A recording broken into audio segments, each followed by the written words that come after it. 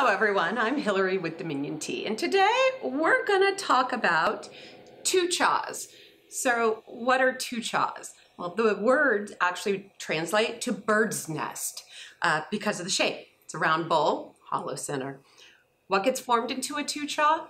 Generally pu'er. So I'm going to talk to you a little bit about this modern form of pu'er you, of course, with pu'er, you can get it in both types, right? Sheng and shu. So sheng pu'er, as a reminder, this is raw pu'er. Your shu is a baked pu'er. So your raw pu'ers are gonna come out lighter in color. They're gonna be a little bit more green and vegetal in flavor. Where your shu pu'ers are baked, they're gonna come out almost coffee colored um, and very earthy, kind of mossy, peaty uh, in flavor. So why these? Why did the Chinese make them? Let's talk convenience. What's great about this one little piece is it's single serve, so you're not pulling apart those big pu'er cakes.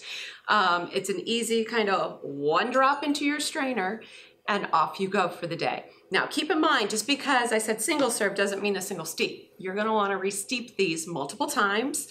Um, I can usually go five or six. I will also admit to the fact you can go out more, um, but you're gonna get to the point where it's just colored water.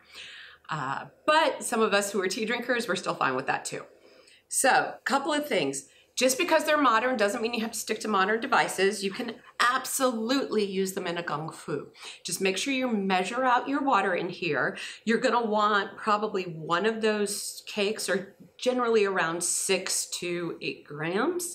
Um, so you're gonna want your pot of water to be somewhere around mm, four to six ounces, or you're gonna wanna add another.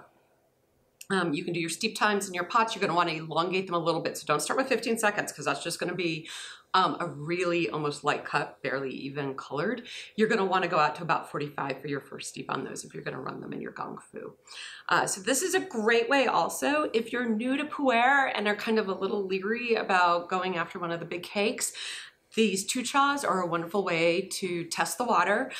They come also with other flavors. So for instance, our Victorian Rose is a raw pu'er that's been pressed with rose petals. Those rose petals are gonna come through on the finish kind of lighten up the vegetal nature of it. Same thing with our sticky rice pu'er, which is on the shu side. Um, it is scented with a, a special plant of the Yunnan province that smells like sticky rice. So it's not actually sticky rice. Um, but again, it takes out that peatiness and earthiness and it's fun to play with. Uh, so it's always worth the adventure uh, and don't overrule these either if you've been a long time pu'er cake um, consumer because it's a great convenient way uh, to have it at your desk all day. So enjoy your exploration of pu'er.